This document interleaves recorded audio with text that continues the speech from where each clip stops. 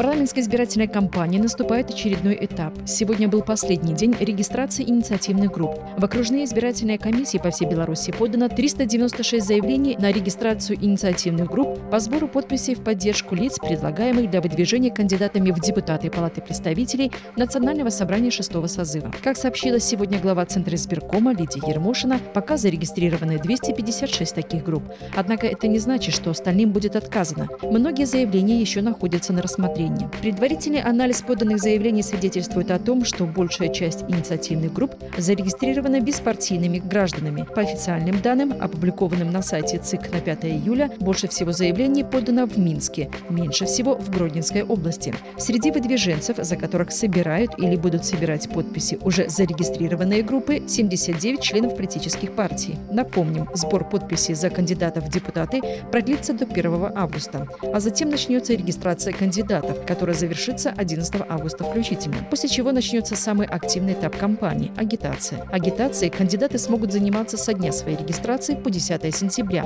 В день голосования 11 сентября агитировать уже нельзя. Тем временем Центр избирком провел ряд обучающих семинаров для областных и окружных избирательных комиссий, главная цель которых – повысить качество контроля за исполнением избирательного законодательства.